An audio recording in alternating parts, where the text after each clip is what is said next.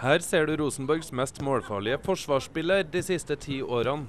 Danske Jim Larsen har skåra i nesten hver femte seriekamp etter at han kom til Rosenborg. Ok, det var jeg ikke klar over, men det er, det er artig. Jeg håper selvfølgelig jeg kan fortsette resten av sesongen, så det vil være fint. For du skårer 0,17 mål i hver kamp, sånn som snittet så langt. Er det et snitt du er fornøyd med sjøl?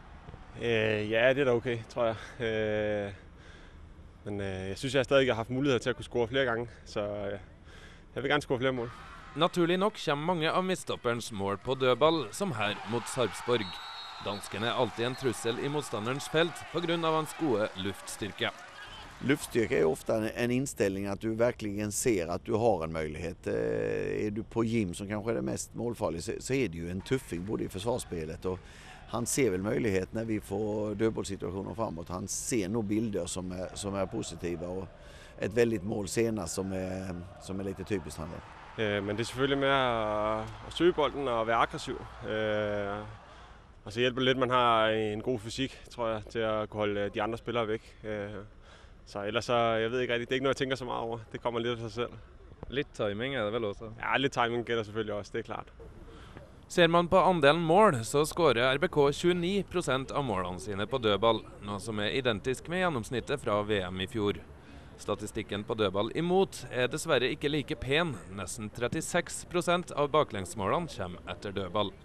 Nej, men det är någonting vi tittade på när vi gjorde en liten summering i början på juni. När vi har varit igenom en, en svag inledning. Det var rätt mycket på eh, dödboll, eh, på inläggssituationer där vi var duellsvaga och, och försökte rätta till det och har rättat till det. Men, eh, så, så, det är en positiv utveckling även där och det är inte siffror som jag tycker om så vi måste bli, bli bättre på.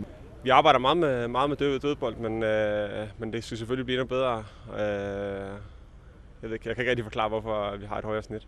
Kan det også ha noe med kampforløpene mot et lag som Rosenborg? At øh, hvis motstanderne skal skåre, så må det nesten bli på dødball?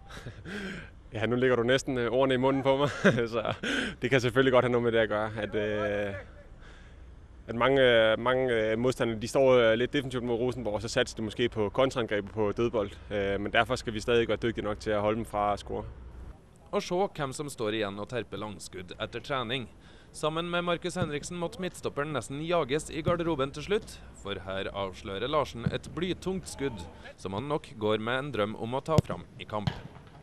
Nei, det er alltid artig å skyte litt på mål. Øh, så det, når muligheden er der, vil jeg altid gerne gøre det. Og det kan være, der kommer en drøn øh, i kampen øh, på søndag. Hvem ved? du avslører et ganske tungt skudd der.